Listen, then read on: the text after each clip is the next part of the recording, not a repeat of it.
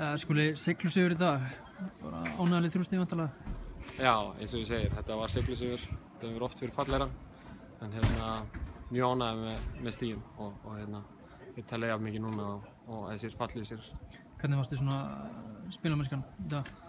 Mér fannst hún satt bestið ekkert sérstök. Við vorum svona hægir að stað og fáum reyndar þetta mark en hleypum svo inn í leikin og, og náum aldrei inn í takt í leikin. Spilið er svona, já, ekki eins og við eigum að okkur að vera. Hérna, ekki ná ánægði með leikin en, en, en fín þrjú stygg. Fylgismenn kannski sterkar enn byggust þið það?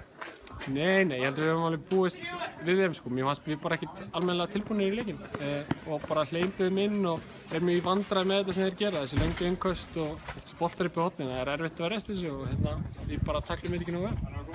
Albert Brynjar vil meina að það hafi ekki mátt snert ykkur í dag, það er bara eins og körubáttaleikur, samlega því. Æ, ég veit ekki, ég var nú lítið í þessu, þannig að hérna, eh, mér fannst nú þetta að vera rétt það sem að vera að dæma í flestu tilfellum, þannig að hérna, ég, ég held að við höfum svona þá reynt að standa á okkur allavega.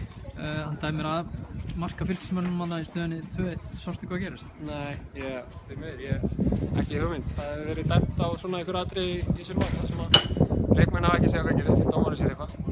Sigur í síðustu tveim leikjum hjá okkur, þið eru svona að finna taktin? Já, þetta er, þetta er mjög fínt. Mjög að spilumesskan í búin að vera alla fjóra leikina fín, en hérna, sigrarnir hafa verið að bíða, verið að bíða eftir sér. Þannig að hérna, þeir eru konið núna og við erum konið á skrið.